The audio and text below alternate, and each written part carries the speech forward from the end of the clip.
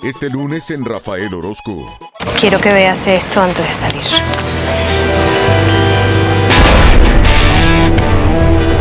A pesar de que Clarita conoció primero al cantante, este le rompió el corazón y la dejó no usar. ¿Cómo le dejó no usar, Clarita? Con lo feo que es, ya. ¿Sabes qué me dijo el padre? ¿Qué? Que debo aprender a perdonar. ¿Y tú qué piensas de eso? Rafael Orozco, el ídolo. Lunes por Click.